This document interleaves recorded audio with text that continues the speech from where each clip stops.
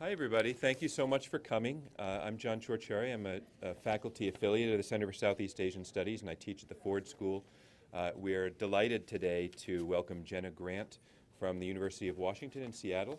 Jenna is an assistant professor of anthropology there, uh, but she has a really exciting uh, and engaging research agenda that crosses over into a number of disciplines. She works in medical and visual anthropology, she works in science and technology, uh, healthcare issues, gender issues. Importantly, for our purposes, she also has an area studies focus uh, and is very knowledgeable about Southeast Asia and particularly Cambodia, uh, which will be the subject of her talk today.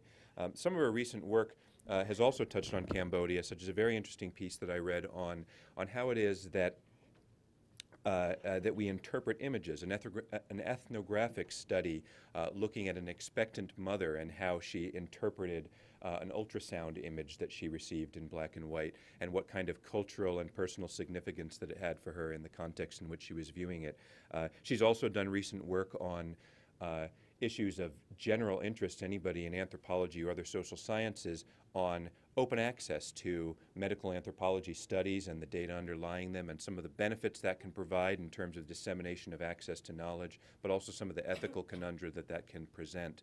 Uh, and that relates to another recent publication that she has, which is related to the theme of today's talk, uh, on ethical issues that have arisen uh, in uh, bioethics issues that have arisen in connection with a controversial clinical trial for HIV treatment in Cambodia. So please, everybody, join me in welcoming Jenna to the University of Michigan and to the Center of Southeast Asian Studies. Thank you. How's the sound? Is it okay? Okay. Thanks for the lovely introduction. I'm really impressed that you read some of those essays. Um, uh, thank you for the invitation from the Center for Southeast Asian Studies and uh, the Science and Technology Studies program and the Department of Anthropology. I'm really thrilled to be here. I haven't been on this campus before, so it's a treat for sure. Okay.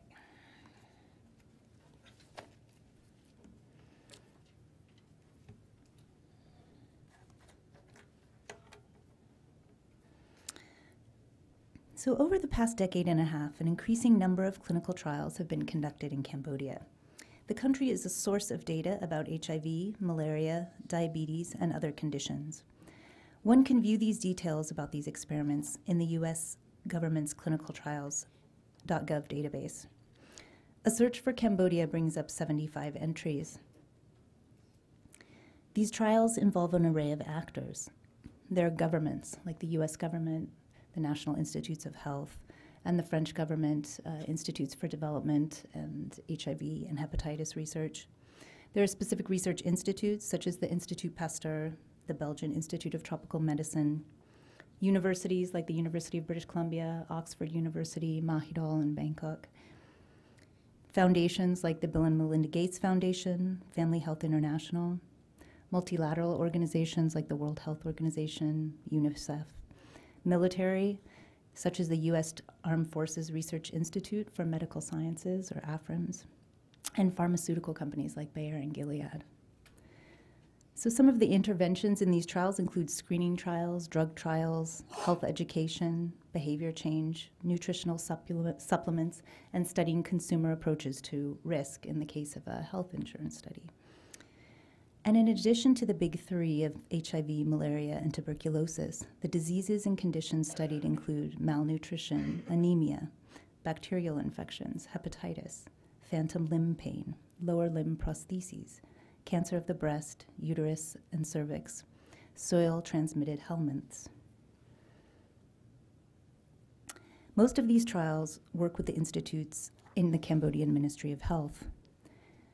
So, Cambodia is a source of data about diseases and problems, providing biological materials, uh, evidence of different human behaviors. It's also a context for research. But does Cambodia as a context shape the practice of the clinical trials? And if so, how and which way, in which ways and to what effects? So, in this talk, I explore this question of how context shapes scientific practices through the case of Cambodia's first experimental trial, the Cambodia Pre Exposure Prophylaxis Trial, or the PrEP trial. This, was an, this was a part of a, a, large number of trials around the globe at the time in sub Saharan Africa, uh, South America, um, also in Thailand. Um, this trial in Cambodia, though, was canceled before it started officially enrolling subjects. In Cambodia, activists, media, and the prime minister configured research in terms of national identities. Categories of Cambodian and non Cambodian became tethered to relationships of extreme material difference and potential for exploitation. I argue that this shifts the object of concern of classical bioethics from the experimental subject to the relation between the researchers and the subjects. Bioethicists and practitioners, social scientists, are consumed with this question of how to locally tailor research. In classical bioethics, the rights are universal, but the techniques of ensuring those rights vary by context. And so, for the case of informed consent, for example, this could be how best to inform participants, how to talk about the notion of placebo, how, whether to differentiate uh, between research and health care, re- whether relatives or bosses must also consent to participate. So the concept of the local context has typically been focused on sort of the subject or the setting, with the researcher outside of the frame and somewhat abstract. Within the debates about the Cambodia PrEP trial, however, I think a different configuration of bioethics came into relief, involving both the researcher and the subject. Debates about the ethics of the trial invoked research ethics guidelines, relations of vulnerability and responsibility between foreigners and Cambodians, and between Cambodian leaders and subjects. So, ethics takes shape within seemingly global forms, like the circulation of committees, forms of activism and advocacy, but also what I will describe as local repertoires of contention following Sokhieng Au. Um, in terms of appealing to a Cambodian leader and also the particular forms and ambiguities that human rights discourse takes in Cambodia post conflict. So, in a recent article in Social Studies of Science, I developed the notion of a post colonial bioethics. And what I meant was that it, sort of as a post colonial as a shorthand, um, as uh, for a conjuncture, not specifically about a category of agency or about kinds of expertise, but encapsulating these global circulations and um, and, and local forms together. And I borrow this term, sort of the field of articulation, from an urban studies theorist, Ananya Roy. But also within science studies, there's a lot of interest in co production. We have a lot of tools within um, science and technologies studies to think about the relational produ- co production of categories, and also within post colonial studies. So I'm interested in how these may come together, right? How we can think of them together. Um, as Itty Abraham stresses, though, in post colonial studies, if one can speak more generally about this field, there's a foregrounding of this unequal but simultaneous co production. So, this focus on inequity is, is there, right? The simultaneity and the unequal co production. So, as such, the field of articulation of bioethics in the Cambodia PrEP trial is specific to Cambodia, its histories of disease and subjugation, its practices of public health and contention, and to HIV activism and global health science, whose specificities are not defined by the ge- geography of the nation state. So, thus, the configuration of research and ethics, Cambodian foreign, happens within this field. And borrowing from uh, literary studies and Buddhist studies scholar Ashley Thompson, she was talking about um, understanding the refugee crisis in the late 80s and early 90s. And she was saying we need to understand the specificity of this situation in Cambodia, but also how do we relate this to other refugee crises um, that are happening around the world at that time that may seem equivalent in some ways? Um, so let's see. This is a brief uh, plan for the talk. So I want to talk a little bit about um, the resources that I use from Southeast Asia Studies about science and medicine, um, and also try to set the stage a bit uh, for global health research, particularly at this time in the early 2000s, and the prominence of HIV and controversies around ethics, and then talk uh, a little bit about PrEP um, in Cambodia, but also as a as a now a very normalized um, prevention mechanism within the U.S. Right. Okay. and then I'll explore what was at the heart of the article, which was um, what I see as this conjuncture of human rights with post colonial nationhood that makes a reformulation of bioethics, um, kind of in, in the middle of all these circulating domains. Okay, so to start then, uh, I've really enjoyed going back to this book, which I read a while ago, Siam Mapped. Have, have people read this book? I'm sure some of the Thai studies folks have. And, um, But Thongchai Winichakul is a historian, and this book covers the talks about the um, scientific practices of mapping and geography in sort of the mid to late 1800s and into the early 1900s, and in the context of Siam, arguing that these scientific practices are central to identifying with the nation, what he says identifying with nationhood. Um, Thongchai talks about two di- different ways of identifying what he calls a positive identification that uh, is through similarity and maybe flattening differences within Siam between different groups, ethnic groups, or religious groups. Um, and then a negative identification, which is uh, defining the nation and the nationhood as what it, against what it is not, against an other. Um, and this it's the second meaning that is also applicable, I think, in this case and in other parts of Southeast Asia. So a quote from the book is the discourse of a foreign enemy is the magic box to generate the discourse of the nation. Um, a historian Sokhieng Au has written a great book um, and, and also a, a, shorter article. I highly encourage you to read it if you haven't. Um, about uh, biomedicine during the early 1900s uh, in Cambodia. And what Au um, emphasizes is that the introduction of biomedicine comes at the time of colonialism um, and that the, it's institutionalized uh, in the assistance médicale, and that the during this time, particularly her analysis of the plague, is shows how these in these experimental moments where the etiology of the plague was not known, um, and so it was being worked out in French Indochina and in France. Um, that uh, there's there's uncertainties both for colonial medical practitioners and for Cambodian leads and Cambodian subjects. Um, and this, I think, is another parallel we can make to the, the situation of the PrEP trial um, and what she calls is this is a contingent nature of modernity. So, quote, the process of medical modernization was being experienced simultaneously by colonizer and colonized, creating conflicts within the European community as well as between European and indigenous population. The other thing that's useful in her analysis is what she calls um, repertoires of contention. So, how people would um, sort of challenge or criticize medical practices of the assistance médicale. Um, and she talks about protest, uh, petition, and then also evasion, literally leaving the city where um, different interventions were being rolled out. Um, but also that these forms, particularly the petition, which I'll focus on later, involve making uh, a moral claim to a Cambodian leader. So, not petitioning the French uh, colonial service, but going to the Cambodian leaders to say, this is, this is not right, we need you to intervene.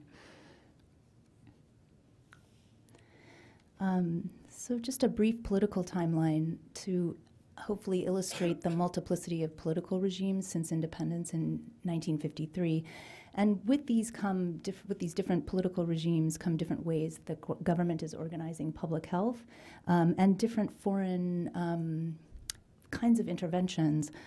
Uh, on the right are covers of uh, one of the first medical journals in Cambodia, which was um, began publication in 1960, and it was co-authored with Soviet and uh, and Cambodian uh, doctors and translators um, in French, and you can see sort of at different moments during the Cold War, different powers being involved in public health. So just to emphasize that the foreign, the public health has been a domain of foreign presence for a long time.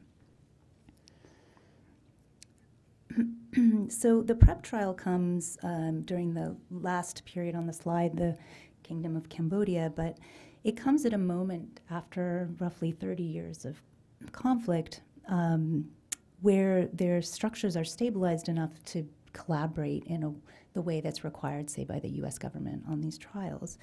Um, and then, then the diseases in Cambodia are of interest to international researchers, and also NGOs, kind of in this period of 1992 to 93, NGOs come into the country, um, and uh, foreign NGOs, but also local NGOs, are founded to promote democracy and human rights and to prepare for an election.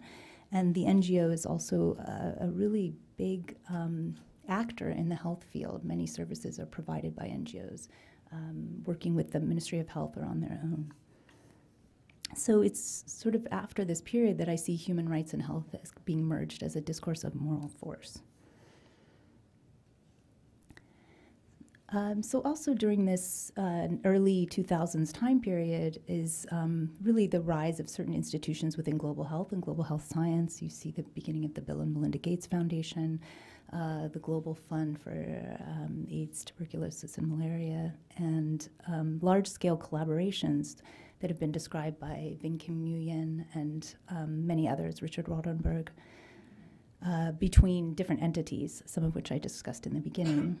Um, but HIV prevention is a field where there are a lot of contests about the kinds of research that are happening across um, as uh, transnational research, and where norms of health and human rights and gender and sexuality are also being challenged. So there's it's a really um, uh, potent sort of domain uh, for debates uh, that are not limited to kind of a disease in a narrow sense, right? And this has become much more of the norm in the way we talk about HIV.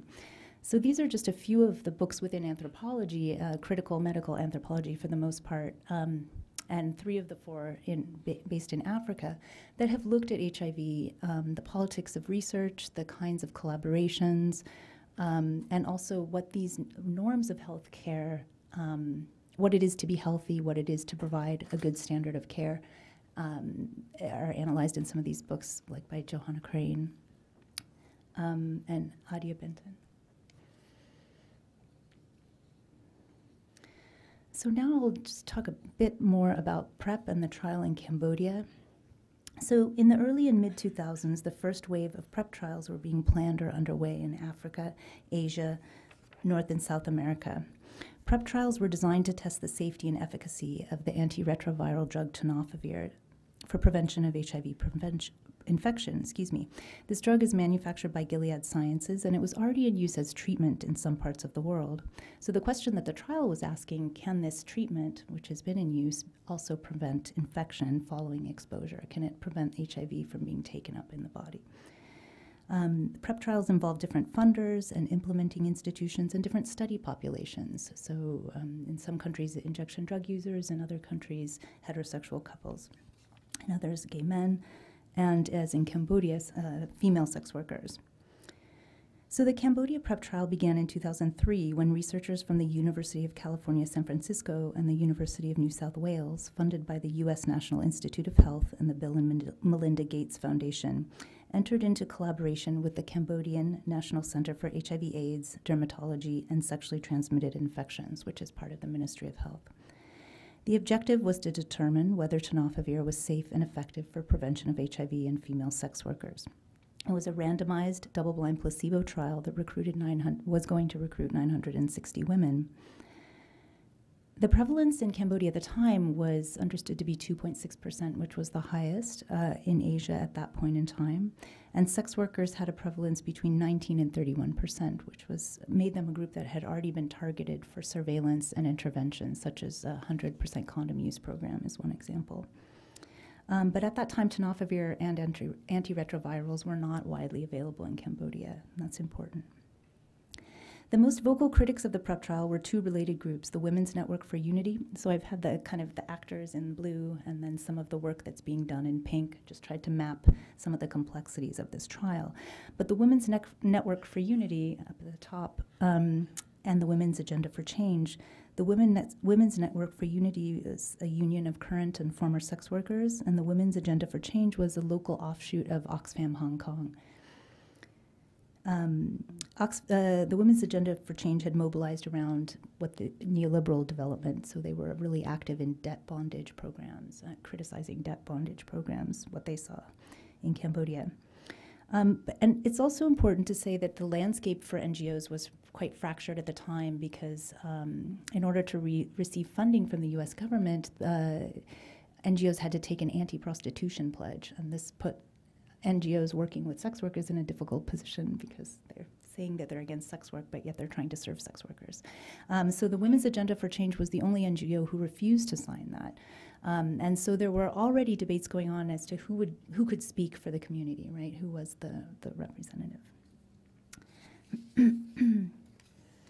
So the main concerns about the trial from these two groups were that the rights of sex workers would not be protected and the WNU was not consulted as a as a important representative of the community. The WNU and WAC shared membership, so I'm mostly going to say WNU, but they actually did many things together. Um, that there were no provisions for long-term care should tenofovir have side effects, and what they asked for was 30 years of post-trial insurance. Um, and there was no guarantee that they would have access to the drug if it turned out that it worked. So the, they felt that Cambodians were being asked to take on the risk but maybe would not receive the benefits. Um, at this time, PrEP researchers were collaborating with other sex worker NGOs. Many of these organizations wanted to work with the trial, um, and they didn't address these concerns publicly. Um, they emphasized that they were abiding by guidelines, if not exceeding them, and sort of setting new standards for, for research. They emphasized the voluntary nature of participation, that care would be provided during the trial, and that there was no funding for long term health insurance, and this wasn't part of the mandate of the research. They agreed to provide two years of post trial care, but argued that significant benefits like 30 years of care would be undue inducement. I'll talk a little bit more about this concept of how undue inducement came into play.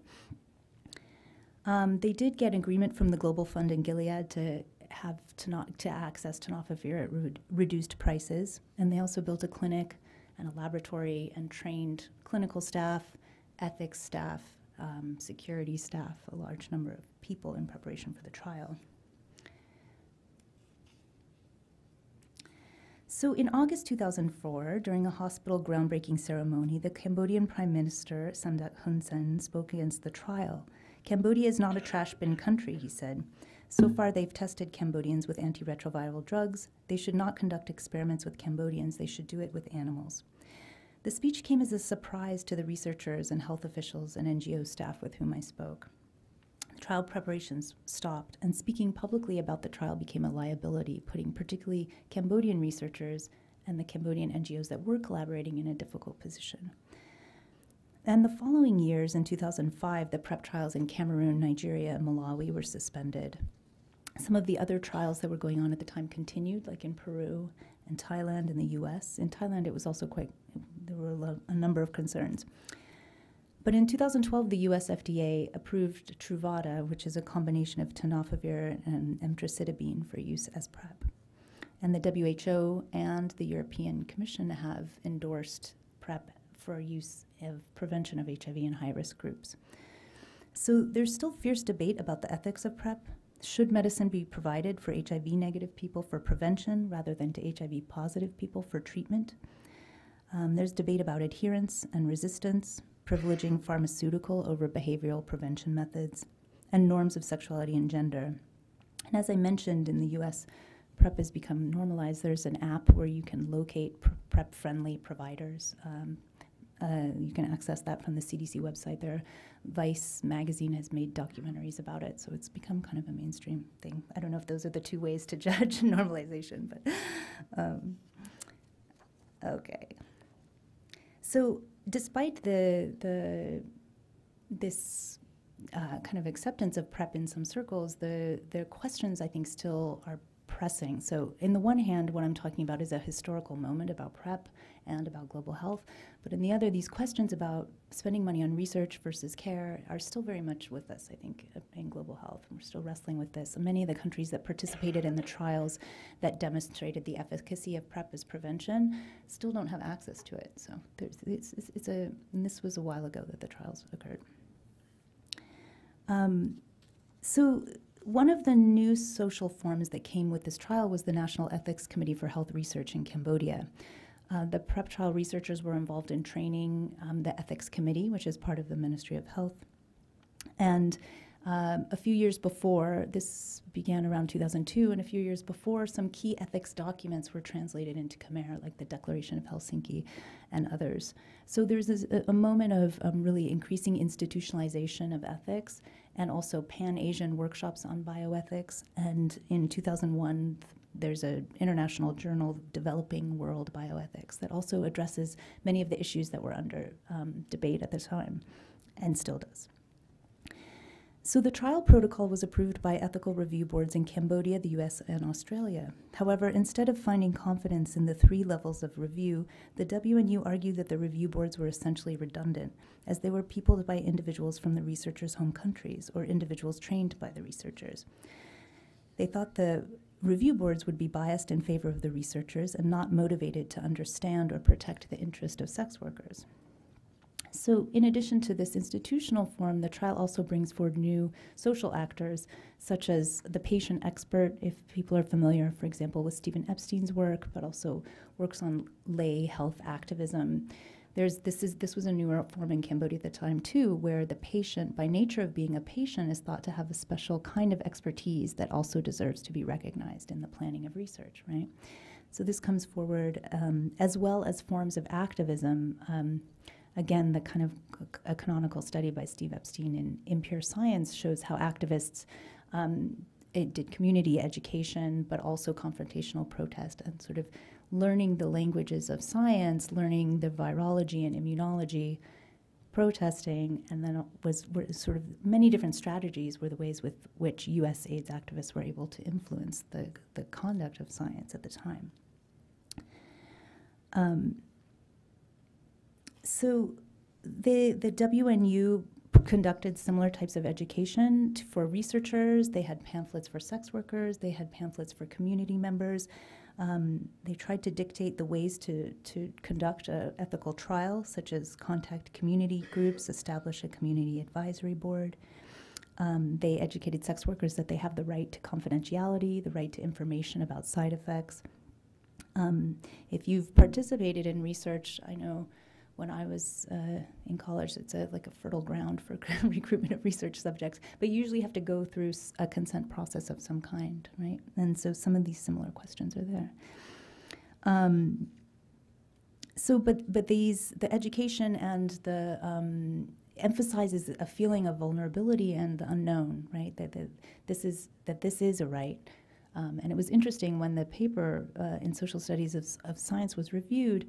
I think this point was lost on actually the editor who's like, why is it special to ask about side effects? This is just a normal thing. And I was like, no, there wasn't. This wasn't. This was novel, right? To ask about this. This was not the typical conversation one would have with a doctor or a drug seller or a pharmacist, right? Um, okay, so this is intentionally blank for a little bit. So, in, in addition to community education, then, um, the WNU's main tactic was to emphasize the unequal relations between the researchers and funders on the one hand and the participant community on the other.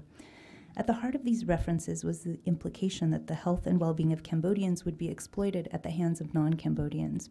This sentiment resonated with the actions of the Prime Minister, the headlines of the local press, and in my conversations with NGO staff.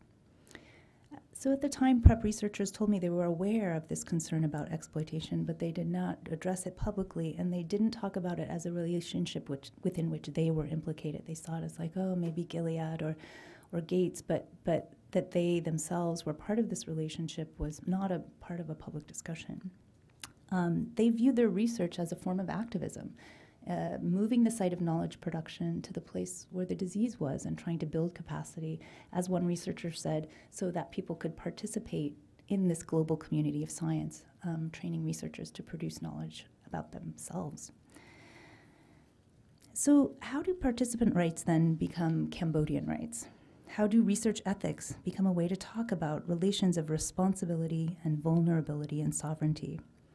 Enactments of participant rights as Cambodian rights involve a media that's fixated on exploitation, this petition as a historical form of anti colonial protest, and the ambiguity of human rights discourse in post conflict times when perpetrators and protectors shift roles.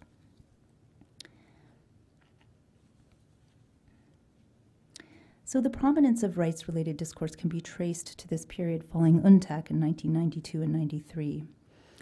Hun Sen and his government have had an uneasy relationship with human rights discourse, to put it mildly, I'd say. Um, initially critical of it as lenient on criminals and threatening to bring chaos to a fragile post conflict society, and more recently challenging it as a form of Western imperialism or hypocrisy. In typical human rights discourse in Cambodia, the imagined or explicit perpetrators of abuses are the military or the state or powerful elites. In the WNU and WAC articulations of rights in the PrEP trial, the potential perpetrators of abuse are foreigners, foreign researchers. A shift in this perpetrator from the state and elites to the foreign researcher accompanies an expansion then of the category of the victim from the subject to people, the Cambodian people. The leader is no longer the perpetrator, he is obligated to be the protector of the people. So, this concept of post colonial bioethics captures how global health research is articulated within these other idioms of vulnerability and responsibility.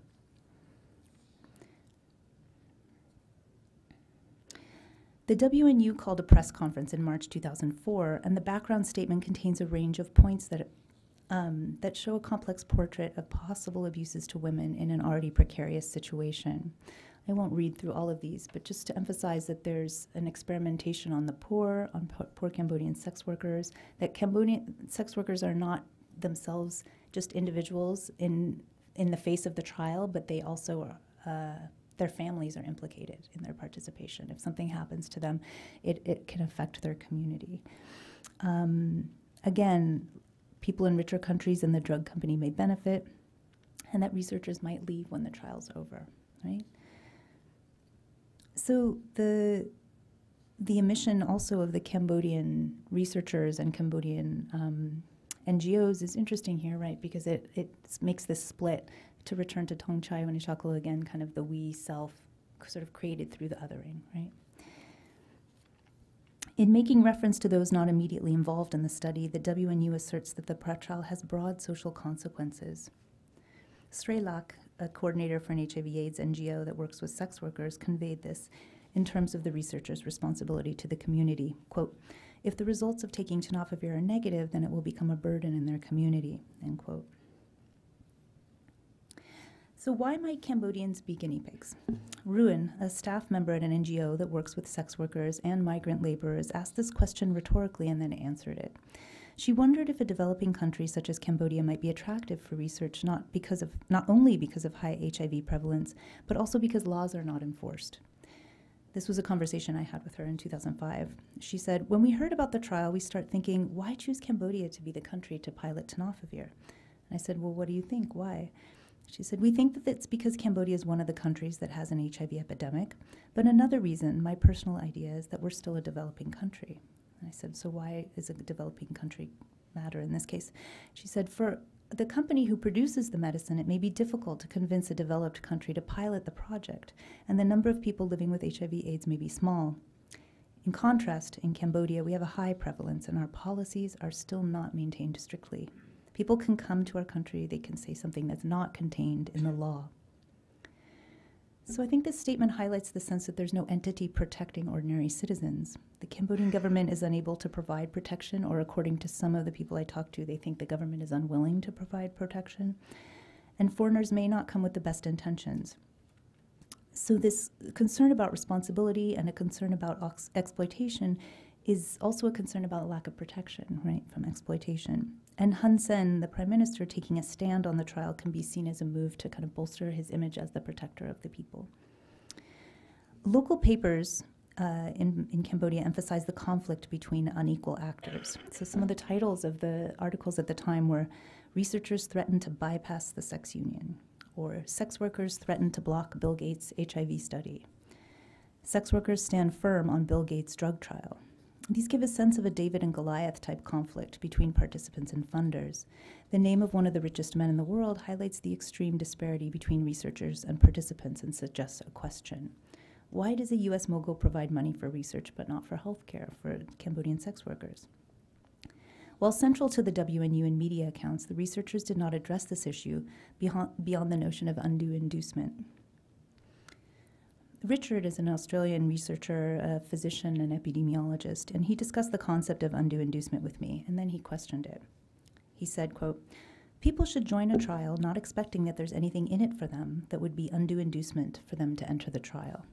Offering somebody a lifetime of medical insurance, which might seem like a nice solution, but then people can't afford when they can't afford bread or rice, this is obviously a huge inducement, and you have people flocking to join the study because they know they're going to get that and that's unethical. Then he paused. He said, That's decided to be unethical. Maybe we need to revisit that. I don't know. These are complex questions. I haven't seen a good answer. End quote. So Richard's statement reveals that he's aware that international guidelines and standards, such as the decision about ethics of post-trial care, are constructed and subject to change. However, his acknowledgement that these guidelines are open to interpretation and negotiation was voiced in private to me, and it was this was never a public discussion. But I think the concept of undue inducement is reflects a particular idea, idealized idea of what research is and how it should proceed. Right? That there people should be willing, kind of the rational actor receives information and then decides sort of based on the risks and benefits. But but um, in many cases, there the inducements are might be not having access to care, right? Again, it's this question of what is the relationship that the research is entering into and either amplifying or changing or shifting in some way. So, in some sense, the concept of undue inducement, I think, is related to a particular way of thinking about objectivity in research, right? And the way of um, the intervention uh, being isolated from other conditions. So, in speaking against the trial, Hun Sen positioned himself as acting to protect the rights and well being of the Cambodian people. In fact, he did not mention the specific population for the study, sex workers. And he has a, it's his forte to um, speak against uh, developed world incursions into the developing world. Um, uh, so when the WNU was concerned that after Hun Sen canceled the trial, that, that the researchers were trying to start start it again, and they sent a letter, um, a public letter to Hun Sen. They said, We, the vulnerable people of Cambodia, would like to express our deep thankfulness to the Prime Minister who has supported us in stopping the unethical trial of an HIV prevention drug last August. Samdech is a true father who always has compassion and is very thoughtful about the benefits to his children and stays with us when we are in difficulty. Dear Prime Minister, after articulating their concerns about researchers pressuring, pressuring sex workers to participate. This was the idea. It's not, again, it's not clear uh, what was happening. Um, they concluded their letter by linking their words to what Hun Sen said in 2004. They said, Every Cambodian has the right to live, to participate, to make decisions, but the research group does not give us these rights. They only think about their benefits and exploits us, the poor and powerless. Cambodian people are not waste, and Cambodia is not a waste bin. We would like to thank you for your meaningful statement. We would like to wish you good health and that you stay in power to continue to govern and lead Cambodia to peace and development. So both the WNU and Hun Sen articulate this we as Cambodians more generally, not sex workers specifically. The discourse asserting Cambodians are not waste or guinea pigs is a claim to the same rights, the same dignity, and the same freedom as non Cambodians. This letter is a form of politics in Cambodia with deep roots. As I mentioned earlier, Sokhieng Au has described a petitioning of the king used to resist French colonial medical policies surrounding plague control. Petitioning could take the form of a demonstration at the residence of the king or a letter to the king detailing grievances. Excuse me. Um, in present day Cambodia, the king has lost political and perhaps moral power, and it is common to petition the prime minister instead, Hun Sen. As Penny Edwards has noted, Hun Sen's taking the title Samdech in the mid 1990s was a claim to the moral authority and semi divinity of the king. This moral authority can take paternalistic form, following the precedent set by the previous king, Sihanouk, who often referred to himself as the father of his people. The WNU combined local forms of protest, then, such as petitioning the Cambodian leader, using this father child rhetoric, with strategies of international activism like teach ins and press conferences, which use a quite different discourse of empowerment. These images are from uh, protests in 2013 um, around a land issue at Boeung Kak Lake in Phnom Penh. Um, but I, I, include them because there's a photograph of Hun Sen on the left side at the top and then a photograph of his wife just to illustrate because the protesters went to his house and they held pictures of him and it was a way of appealing um, to try to make a moral claim for justice to the, the minister against in this case it was a development company that was filling in the lake and evicting people. So here are the resolution of concerns about the trial uh, really moves beyond the scope of adherence to guidelines, right? Ethics guidelines. It moves into this other realm that includes histories and active national narratives of predation upon Cambodians by foreigners. So, to much of the world, recent Cambodian history might be defined by the Khmer Rouge era, but it's worth noting that in Cambodia, there's an active, it, people speak much more about exploitation by foreign others, um, and or it's as prominent, at least in the imaginary. Hun Sen has cultivated this persona of standing strong against Western moral imperialism. So, this simplified narrative of threat to sovereignty from abroad or from others within requires this continuous fashioning. Biomedical research framed as an exploitive relationship between foreigners and Cambodians hooks into these imaginators in Cambodia. The we self must be maintained. And the translation of rights, uh, human rights, into the rights of researchers works for Hun Sen because of this shift in the imagined or potential perpetrator from the state to the foreign researchers. Because recall that Hun Sen did not speak much about the rights of Kim. He wasn't interested in human rights discourse very much, particularly in the 90s, right? And still, but he can use it when the victor, the victim, and the perpetrator are shifted. Um, So, as we know from decades of scholarship in science and technology studies, controversies are a potent site to study the values and practices of science. They're sites where things are not settled and under debate. So, what is the right way to proceed? What are the facts that we take to be true? Who has the authority to contribute? The work of Steve Epstein and Sohair Morsy, who's a medical anthropologist that's worked in Egypt primarily, show how publics participate in debates about science by grounding participation in some form of expertise. In many STS studies, it's often implicit that scientific or technical expertise has a broad cultural authority. We can see how cultural authority of expertise cannot be taken for granted. The WNU's demand for 30 years of health insurance in a country that had only scattered health insurance schemes is either very strong bargaining or really rejection of the trial itself. The WNU made the relationship between resource rich and resource constrained countries central to the trial. They did so through idioms of foreign intervention, the responsibility of leaders, and human rights, as opposed to an idiom of good science, right? Which is um, one of the themes in many STS studies is how to make a better science. So my objectives have been to illuminate how post-colonial concerns with rights, with vulnerability and sovereignty configure authoritative grounds for participation in these scientific controversies.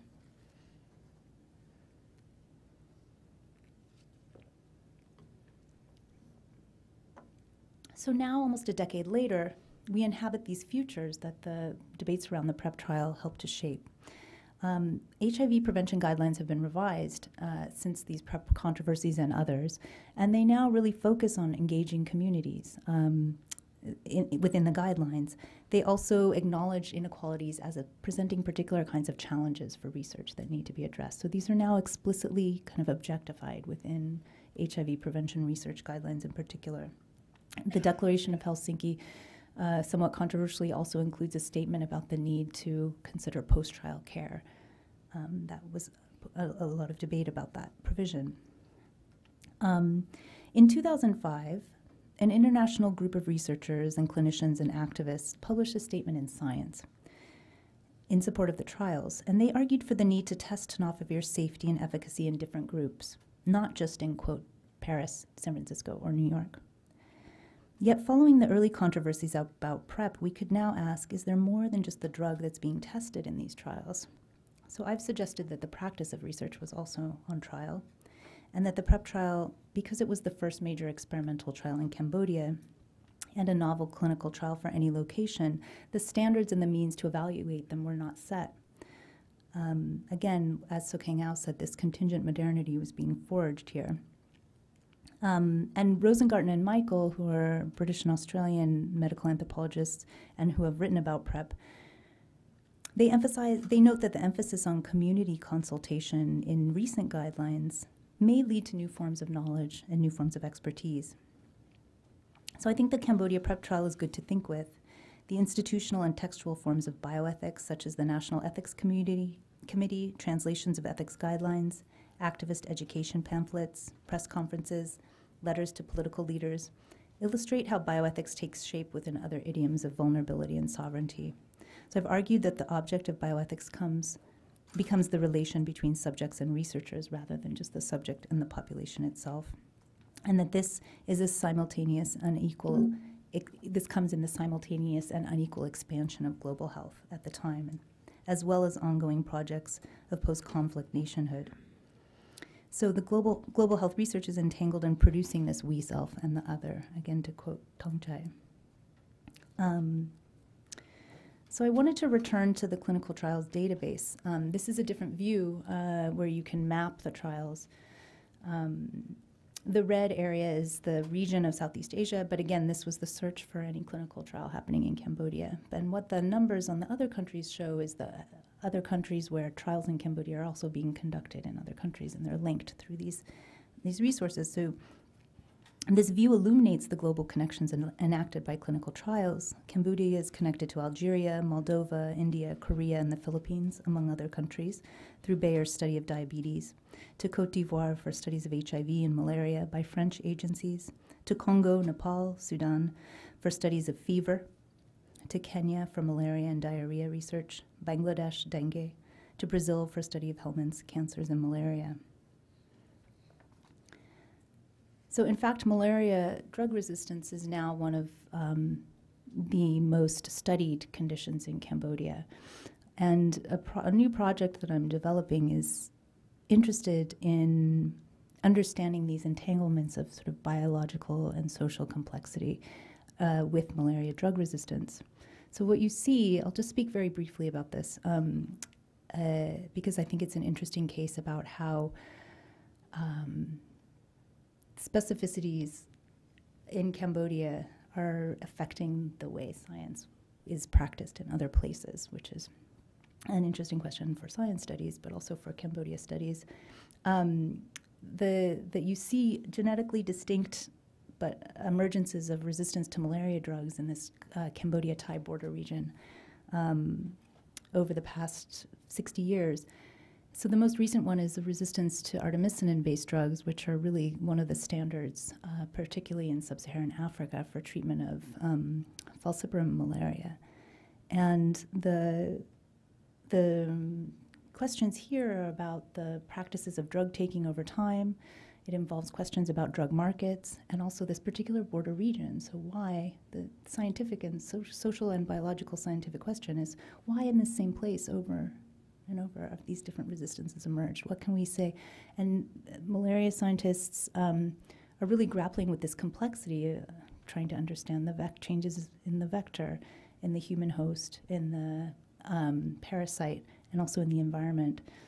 But it raises really interesting questions about um, history kind of affecting biology, right? And how history becomes biologized, what Hannah Landecker has called the biology of history.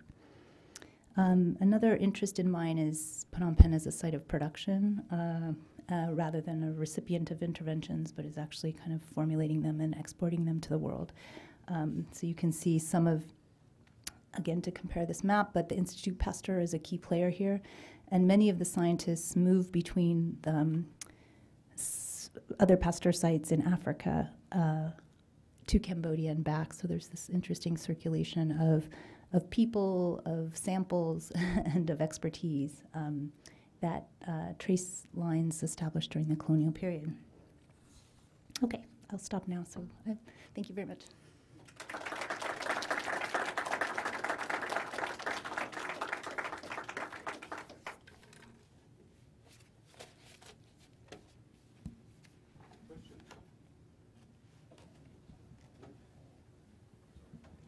Yeah, would the HIV programs in Cambodia have had any contact or relationship with those going on in Thailand and Vietnam on their sides, or does history block that as well? No, I, th- I think there's been a relationship. There's relationships of the res- for the research, but also of the activism. So the Tra- Thai Drug Users Union was collaborating with the Sex Worker Union, but also the researchers move across boundary, and um, they're quite different epidemics. At least at that time in the early 2000s, it was m- tended to be focused more with injection drug use in Vietnam and Thailand, and more within female sex workers in Cambodia. There's been some shifts at that, but at that time, that they looked quite different. Um,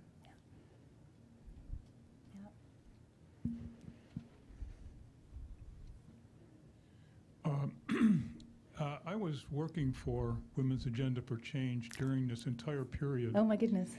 And uh, y- you didn't mention in uh, one of the pieces of the uh, unethicality Yeah. issue, which was the fact that um, many of the street people trying to recruit the uh, sex workers for the uh, experiment were in effect um, undermining the um, historical effort that had been made successfully to get sex workers to insist on the use of condoms and instead implying to people that the use of tenofovir was a substitute.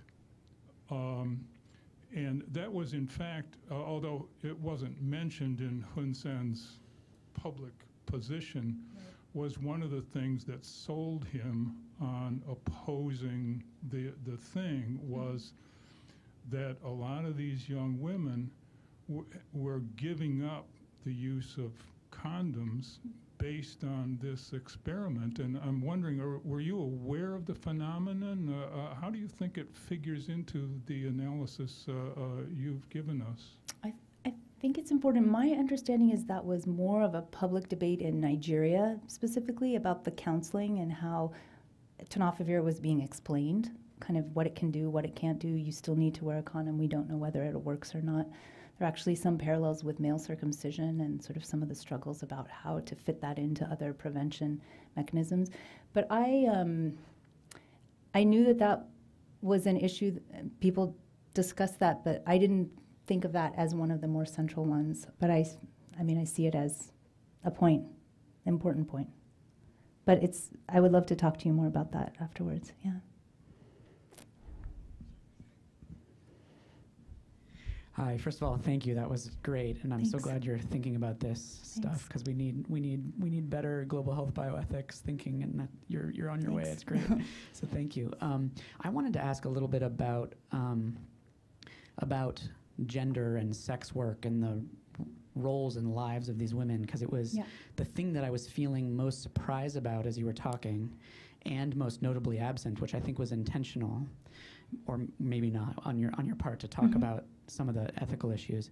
Um, but the thing that struck me most was your phrase. Um, the we self must be maintained because in most places in the world, the we self of the nation does not include sex workers. Right.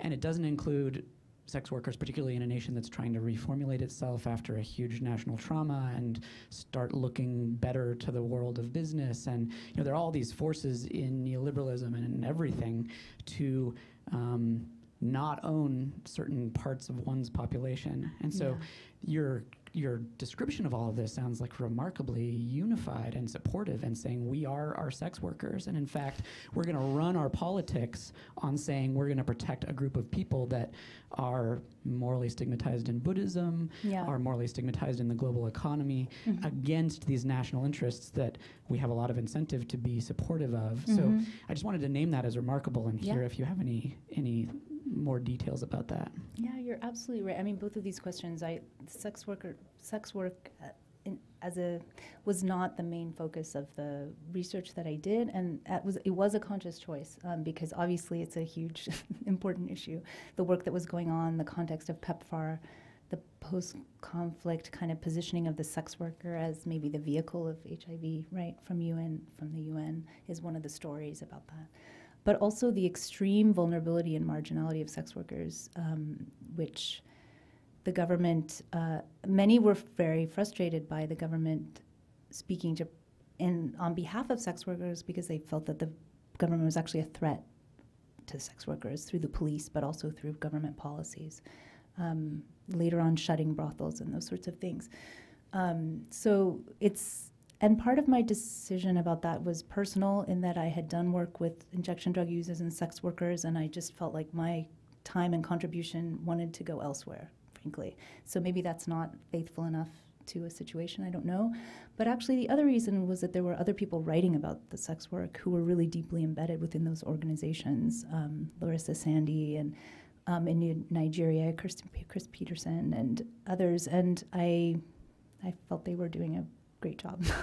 um, and the, I guess I should mention the third reason when I've given this talk, I've shown a short clip about the from CNN at the time with the founding of the WNU that is it's just a problematic video, but it kind of shows how sex work was this sensationalized thing, right? Associ- so the trial becomes linked to the figure of the sex worker, and that's linked to prostitution and to trafficking and to corruption and all these things. And I see Hun Sen also like enough of this focus on this, like equivalent of Cambodia with this, right? Um, but I didn't interview Hun Sen, so I don't. I, and and I wasn't out to kind of solve the deep question about the real reasons for cancellation because that wasn't my position really. But I, it's the sex worker and sex worker politics are crucial to this story, and uh, particularly at that moment, right?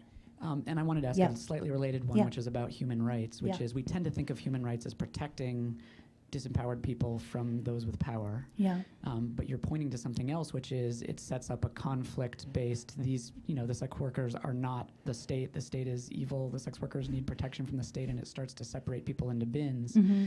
Whereas Hun Sen is saying, y- you know, get your discourse out of our country. We're all Mhm. one Cambodia, Mm-hmm. which is a potentially a, an also way of decreasing of violence against a group subgroup of people. Mm-hmm. Um, and do you feel like that's a, a part of this rethinking of bioethics that you're doing in a post-colonial context? Like, are you taking that seriously? that human rights could be violent in a way that Yeah. That the that speaking for human rights is an act of violence sometimes. yeah. Is that what you're saying? yeah, Yeah. What do you think? Yeah. Uh, I do. I don't think saying human rights enacts human rights, right? I think there's a complex politics of the speech. it's not a speech act in that sense, right? But so I think that human rights, what I've tried to show a bit is that involves shifting kind of roles within it, and that the violence can be kind of sucked out of it and then put back in at different times. I guess so. You know, some of the early. I mean, maybe John can also talk about this. Some of the early NGO work around human rights was about the violence of the state, right, and the military and elites, and then that's a, almost a, a fetishization of that violence, right? Sometimes in some of the media about it, right, and then kind of sucking that out to say actually it's about the foreigners and the others. I think it's a really great point, but it's I think we would do well to consider human rights as a complex field, right? Which isn't doing one thing and, is, and isn't involved with sort of simple rights and wrongs. Frankly, similar to ethics. I mean, a lot of science studies scholars have not wanted to study ethics because they feel like there's too much predetermination of groups, right? So it's analytically less interesting for some scholars that you, you already know what's good and bad. You already know who's this. There's the state and there's the sex workers. And I left out of this talk, but there's it's really important that they, there are other Cambodians here that were kind of in favor of the trial or trying to improve it. There were uh, foreign anthropologists who were trying to help the unions spread their voice at the same time. And so those fields can never be encapsulated in a press release or a speech, right? Yeah. Sorry to talk so much. no, it's a, Thanks. Uh, Jen, I'm really interested in this idea about undue inducement and the conversation Yeah. you had with your Australian colleague. mhm. So I've heard this raised in U.S. testing on human subjects in a couple ways. Number one, if the inducement is high enough, maybe you get people who uh, you have a biased sample, or you've got people who falsify information in order to get into the uh, subject group. And then a different set of concerns, which you alluded to, that I'd like to ask you if, if this was part of the discussion in Cambodia, and that is the idea that if you have such an inducement on one side of the scale, that uh, that in a sense you throw off this cost benefit calculus that's supposed to be informing decisions uh, because the costs become impossible to focus upon for someone who is in a position of, of need and who, who has such an inducement dangled in front of them.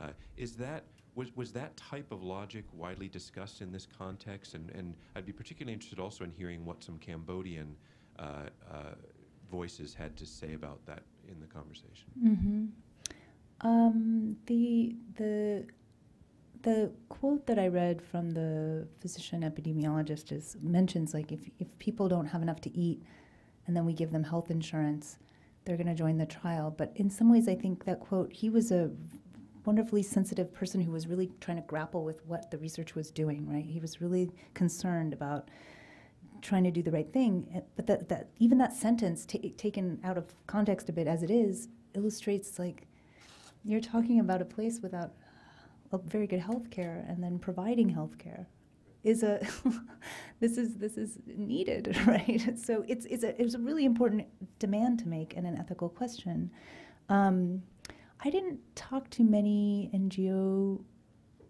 folks or research cambodian ngo or folks or researchers about that specific concept undue inducement that was more what the australian and us um, spoke of and as sort of this is this would be unethical. We're, we're, we're we're concerned about the ethics, and this would be unethical.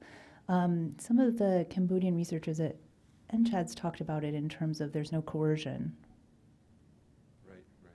But the coercion wasn't unpacked in terms of the costs and benefits of the research per se. But I, um, yeah. Are there other questions? Anyone else? I don't know if uh, maybe in the WAC was that concept discussed. Sorry, I didn't catch your name over there. Were- Was the concept of undue di- inducement discussed within the WAC? Uh huh. And how did how were folks talking about it there? Um, like uh, the, I mean, the, the hostility, uh, certainly within WAC, was such that um, the only solution seemed to be to end the program. Yeah. Um, and that may have been a function of the people on the ground who were actually distri- distributing the drug and how they talked about it as a, as a substitute for condoms. Um, Well, so it Which- which shouldn't have been- been distributed really at that time, though. what? It, it wasn't a, a the study wasn't actually active, though, was it? Or, Uh, no, Yeah. and they were trying to recruit people. right. Uh, uh, But it hadn't be. I think it hadn't no, no, begun. no, no, no. I mean, the, the drug wasn't physically Right, right, handed to right. people. That's what. Um, it's interesting to think of those demand, the demand for 30 years of post-trial care, say in relationship to demands that we are also faced with, at least at my university and maybe at yours, to think about the demand um, for changes, right, and justice in education. I, I see interesting connections between kind of there's ways of making demands that are technical, right, like we want this type of a course or this type of a curriculum or this type of syllabus, and then some that are more like I'm making a demand to blow it up, right? and that's how I see, and I see the a value to both of those kinds of demands. And I see the 30 year thing as like, this is this is not working. Kind of what you're saying. Let's blow it up. And I, I guess there's a this is there's a structure of the demand that is func- that is we can see in our moment right now, right in the U.S. We've just about come to the end of our, our hour, so uh, please join me in thanking Yeah, Jenna for an thank you. Thanks very much. Thanks for your question.